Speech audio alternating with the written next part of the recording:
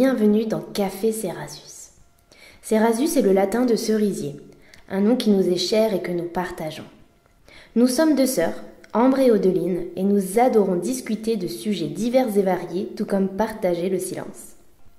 On s'accorde le droit de ne pas tomber d'accord sur tout, mais on respecte profondément nos avis, quoi qu'il arrive. Nos réflexions sont bienveillantes, sans jugement et évidemment non exhaustives. Installez-vous confortablement, c'est votre rendez-vous réflexion et complicité avec Café Cerasus, le podcast d'échange et de partage en toute douceur au pied de notre arbre fruitier. Ce temps de parole est tombé comme une évidence après nos multiples échanges sur tous les sujets du quotidien, car même en vivant ensemble, puis séparés, même en se ressemblant tout en étant totalement différentes, notre grande passion reste quand même de débattre, surtout quand nos opinions sont différentes ou nuancées. Dans notre société, les langues se délient de plus en plus et selon nous, les gens osent enfin dire ce qu'ils pensent et affirmer leurs croyances, quitte à choquer ou à dérouter. Ce podcast se veut bienveillant, il est donc important de rappeler que les opinions ou les commentaires que l'on pourra avoir ne sont en aucun cas des jugements. Bienvenue à vous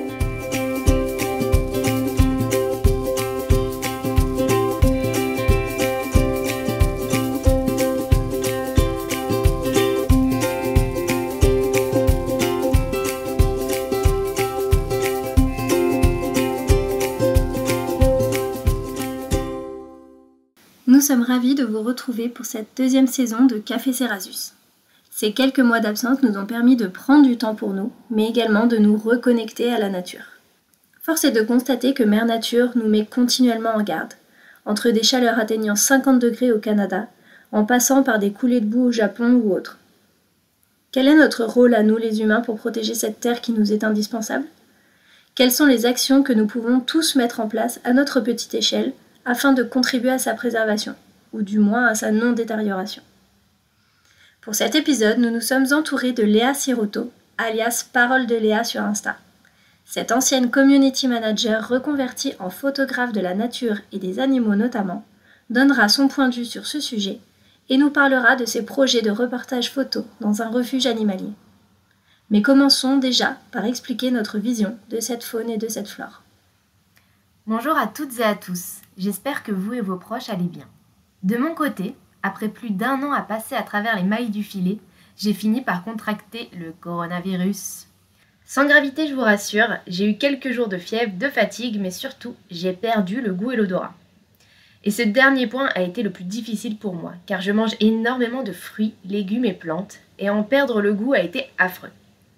D'ailleurs, nous pouvons noter que les végétaux fournissent 80% de notre alimentation. Et étant végane, je peux faire grimper ce pourcentage à 95% pour ma propre alimentation. Je trouve incroyable la générosité de la nature. Qu'il s'agisse des végétaux comestibles par les êtres humains, mais aussi des arbres, des fleurs, des arbustes, des différents paysages, notamment des forêts qui, mondialement, recouvrent environ un tiers des terres émergées, soit 4 milliards d'hectares, et doivent être protégées. Je me sens toujours heurtée au plus profond de moi-même de lire que, chaque année, 13 millions d'hectares de forêts disparaissent, soit 15 millions de terrains de foot. De plus, un cinquième de la forêt amazonienne a déjà disparu, et 40 à 55% de sa superficie va disparaître d'ici 2050. Ces chiffres de WWF montrent l'ampleur de l'impact des hommes sur la planète, alors même que nous avons besoin de cette végétation. Comme je l'ai signifié juste avant, que ce soit pour nous nourrir, mais aussi nous habiller ou encore nous chauffer.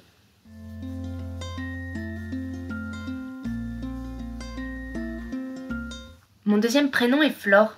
Je ne connais pas véritablement l'origine de ce choix par mes parents, mais je pense que cela m'a marqué dans ma construction.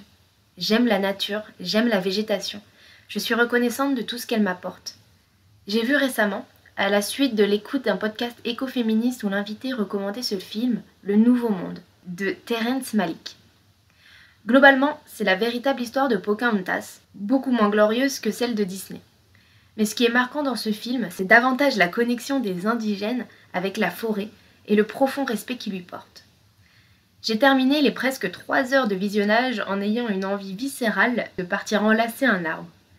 Je crois d'ailleurs vraiment aux vertus de la trithérapie, ou sylvothérapie en français, ou encore Shinrin Yoku désolé, en japonais, désignant un bain de forêt. Je pratique cette thérapie lorsque je vais en forêt.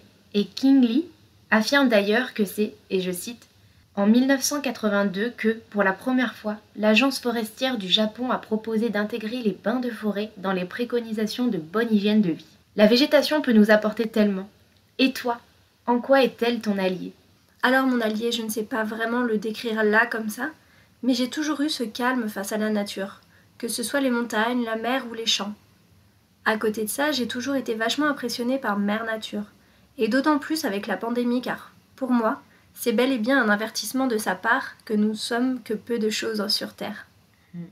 En effet, je nous trouve très arrogants dans notre gestion de notre habitat, pensant que nous pouvons utiliser ces ressources sans contrepartie et pensant qu'il est possible de jouer à Dieu sans conséquence. Ne dit-on pas que le battement d'ailes d'un papillon en Californie peut provoquer un tsunami au Japon?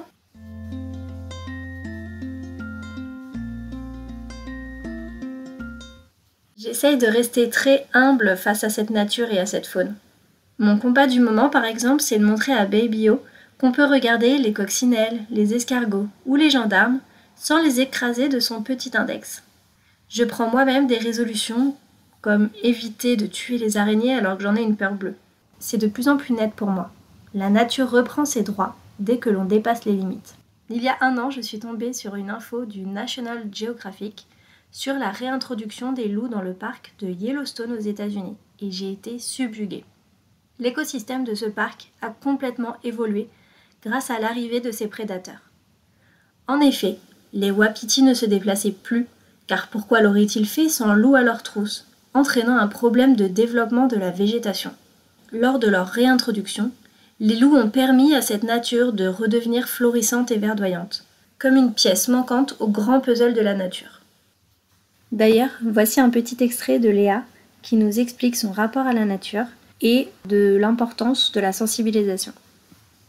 J'ai un rapport particulier avec la faune et la flore, puisque ce sont les trésors de notre Terre, qu'il y a des millions d'espèces euh, connues et méconnues, qu'on doit sensibiliser à toute, cette belle nature. Donc moi, j'aime pas trop employer le terme nature, puisque c'est un terme qui est un peu déformé maintenant. Hein. Quand on dit nature, ça peut être un parc parisien, etc. Alors pour moi, un parc parisien n'est pas vraiment la nature. La nature, euh, normalement, c'est quelque chose de naturel, c'est le sauvage.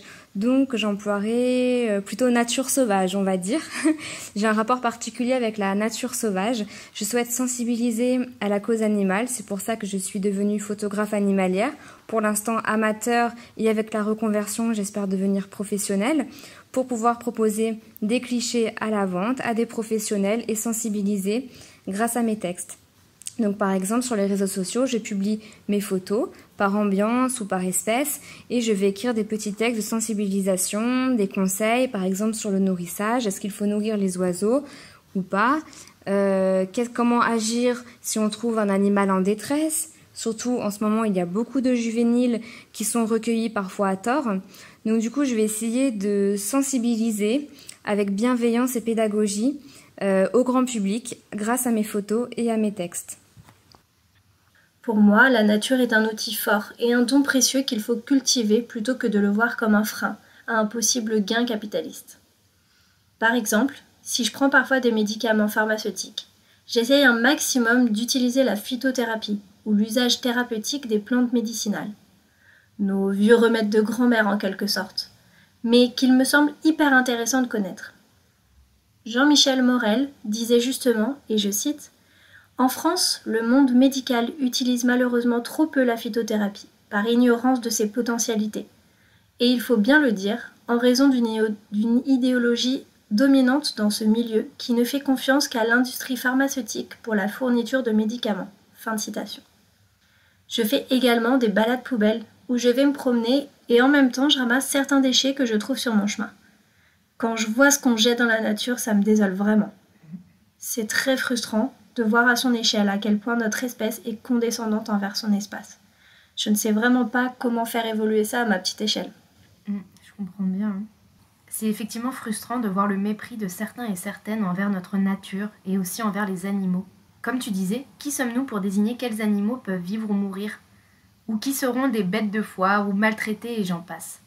Le psychologue social Laurent Beg Shankland affirmait dans une étude que, je cite, notre société humaine est construite sur un paradigme spéciste puisqu'elle accorde aux humains des droits fondamentaux qu'elle refuse aux autres animaux.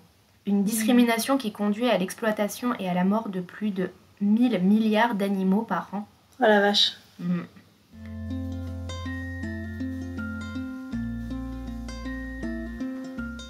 Ça me déchire de voir que l'espèce humaine est si destructrice de son environnement, et notre société contemporaine n'a jamais eu la moindre envie d'équilibre et d'égalité, juste du profit, de l'accumulation et de la domination.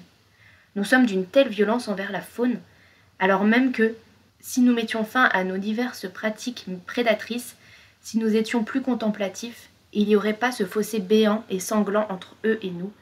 Ils auraient moins peur, et nous aussi, et nous deviendrons capables de nous entretenir avec eux d'une façon ou d'une autre, comme le disait la philosophe Élisabeth de Fontenay. Et pour étayer mes propos, Léa nous parle de son approche en tant que photographe animalière quand elle se trouve dans la nature. Pour photographier les animaux, pour l'instant, j'ai pas vraiment d'organisation. Comme je vis à Paris, c'est souvent euh, pendant les balades, euh, si je vois des animaux, en général, c'est pas vraiment des mammifères, hein on va pas se le cacher, c'est plutôt euh, des oiseaux dans les parcs parisiens, puisque dans la vie citadine, les oiseaux sont beaucoup moins farouches, c'est quand même plus simple de les photographier, mais il faut toujours le faire avec respect. Voilà, c'est-à-dire qu'il faut respecter une belle éthique. On va pas les nourrir des oiseaux ou des écureuils pour avoir une belle photo. On va plutôt prendre de la distance, avoir une euh, distance de sécurité, comme on l'appelle, pour pouvoir photographier l'animal, avoir un téléobjectif pour pouvoir être assez loin et zoomer, pour pas non plus se retrouver avec l'appareil entre guillemets collé à l'animal. Donc euh, je veux vraiment respecter une, une éthique, pardon. C'est-à-dire pas de nourrissage, on n'approche pas l'animal de trop près, on va pas le déranger. Si on voit qu'il stresse ou qu'il a peur, on part. Voilà, pour l'instant, je ne fais pas d'affût. L'affût, c'est, euh, ça demande énormément de travail et c'est en général plus, on va dire, euh, dans les campagnes, dans les endroits euh, boisés où il y a très peu de passages, puisqu'on ne veut pas croiser d'humains quand on fait un affût. Bon, déjà, les affûts se font avant le lever du jour et en fin de journée, puisque les animaux sortent très tôt ou très tard, en règle générale. Là, par exemple, je parle de chevreuils, de lapins.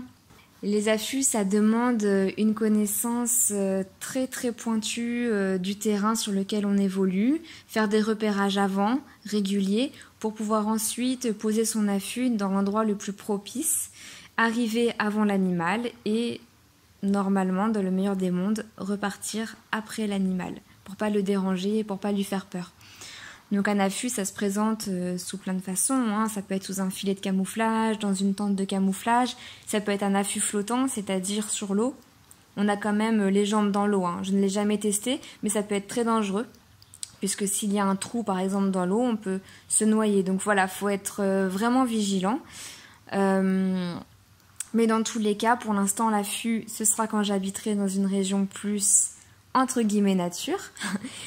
Et pour l'instant, ça s'appelle du billboard, c'est-à-dire que je vais marcher et si je croise un animal, je vais euh, le photographier dans le plus grand des respects en respectant l'éthique que je me suis fixée. Les seules solutions que j'ai trouvées dans mon quotidien pour ma part sont de ne plus manger de produits issus de l'exploitation animale, de ne plus acheter de cosmétiques puisque, de toute manière, je me maquille excessivement rarement, et de boycotter les parcs animaliers notamment. Ce sont mes choix personnels bien évidemment, et je les donne à titre d'exemple et non comme un chemin d'excellence à suivre. Nous sommes en plein été 2021 au moment de l'écriture et de l'enregistrement de cet épisode, et j'espère du plus profond de moi que des animaux ne sont pas abandonnés sur le coin de la route des vacances. Pour information, l'abandon est considéré comme un acte de maltraitance et est puni par la loi. Il est considéré comme un acte passible de deux ans d'emprisonnement et de 30 000 euros d'amende. La France détient le triste record du nombre d'abandons. C'est accablant. Mon chat, nomade, est un membre à part entière de ma famille et ça me fend le cœur de voir que des personnes font le choix de prendre un animal et le mettre de côté à la première problématique organisationnelle ou logistique. Moi, je suis tout à fait d'accord avec toi sur l'abandon d'animaux. C'est quelque chose qui m'échappe totalement. Je rêve d'avoir un chat, l'homme rêve d'avoir un chien. Et pourtant, l'un comme l'autre, nous savons que ce n'est pas une bonne idée pour le moment d'avoir un animal de compagnie. En effet, nous sommes très souvent partis en week-end, et je ne me vois pas avoir la responsabilité d'un être vivant qui est dépendant de moi pour le laisser à la maison dès que nous nous absentons quelques jours.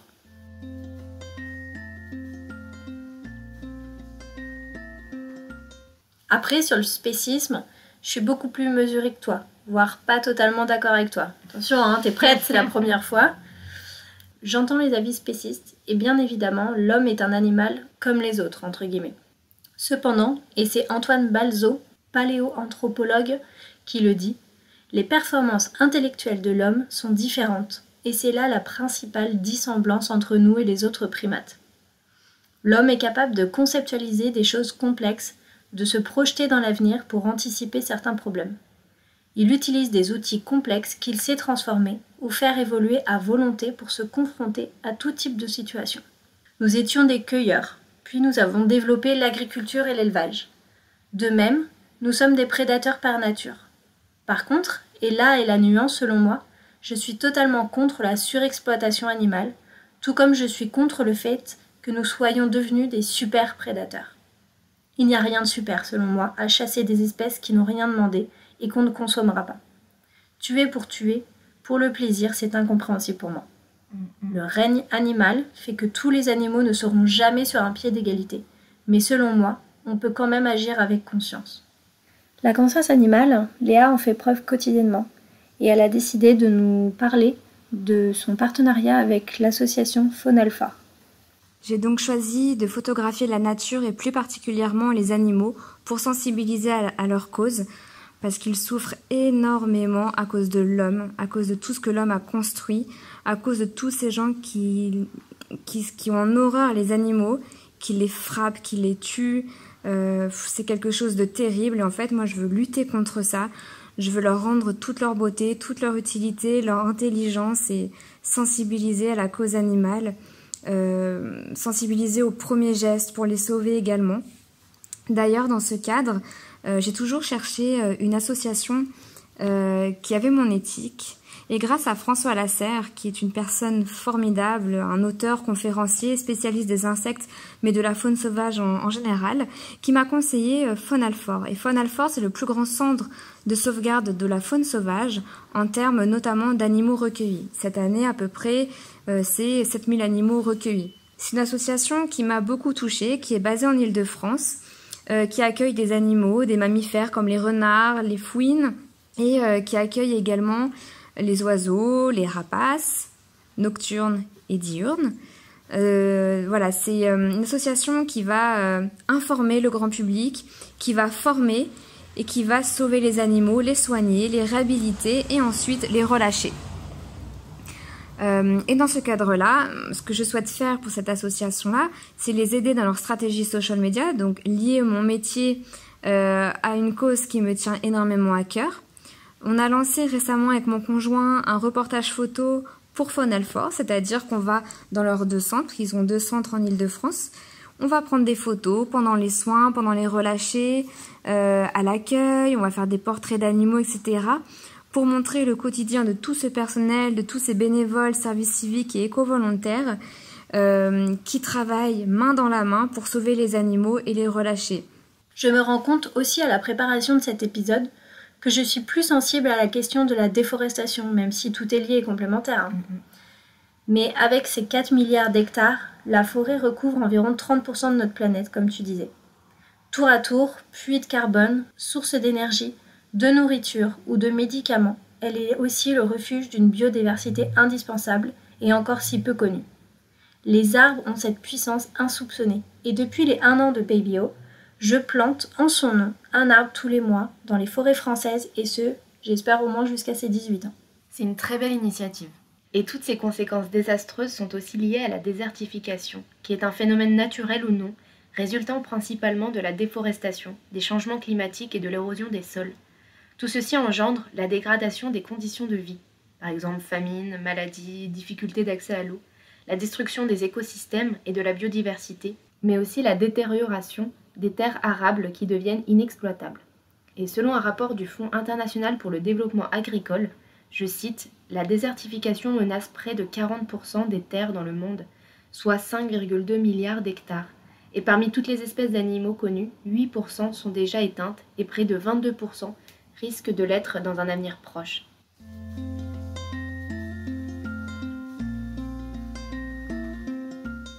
Ça fait beaucoup de chiffres à assimiler, mais ils sont tellement représentatifs qu'il semble indispensable de les énoncer. Et parfois, avec toutes ces négligences faites par l'homme, on oublie que les plantes, au sens large du terme, sont les seuls organismes dotés de la capacité de transformer l'énergie solaire en nourriture. Mm. Nous vivons grâce à elles, nous en sommes dépendantes. Nous avons aussi besoin de leurs vertus pour nous soigner, comme tu parlais de phytothérapie. Il y a 60 000 ans, l'homme de Néandertal utilisait les plantes et les chamans ont joué un rôle important dans la collection, l'apprentissage à l'utilisation et la transmission de la connaissance des plantes durant l'évolution Homo sapiens.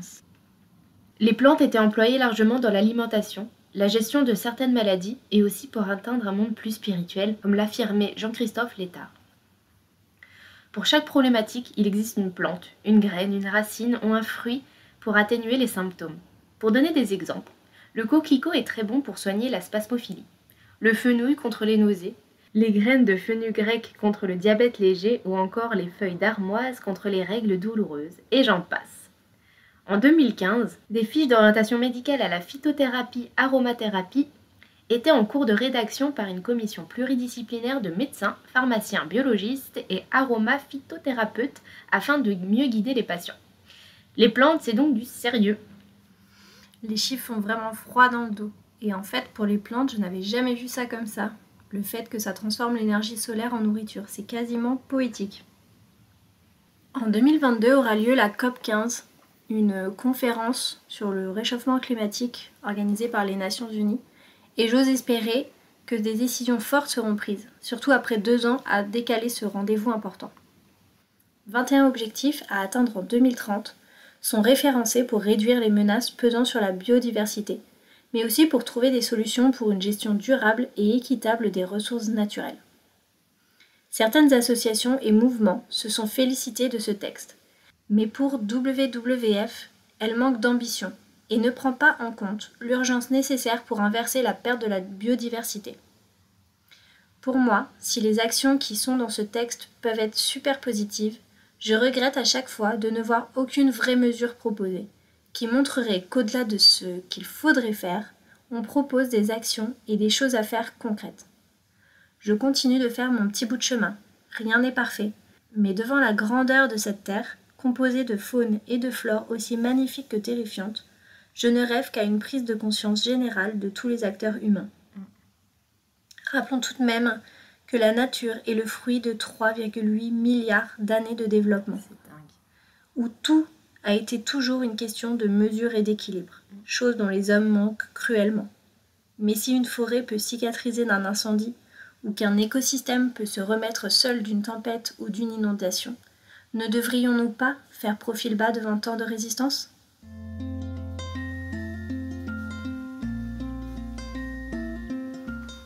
La faune et la flore sont des bijoux que l'homme a pillés par convoitise. Les événements et catastrophes naturelles que nous avons vécus ces dernières années nous prouvent la puissance des éléments et l'infimité de l'espèce humaine. Nous avons, je pense, beaucoup à apprendre de la nature et devrions davantage la contempler que la détruire. Enfin, pour conclure ce premier épisode de la nouvelle saison de Café Cerasus, on aimerait remercier Léa pour sa participation et son investissement dans la cause animale. Nous allons mettre dans la description l'ensemble des liens vers son activité et ses projets. N'hésitez pas à nous faire un retour sur cette petite nouveauté, savoir si cela vous plaît et si vous auriez envie de participer à cette expérience par rapport à un sujet qui vous est cher. Passez toutes et tous une magnifique journée. Et n'oubliez pas, la vie est toujours plus douce sous le cerisier de Café Cerasus.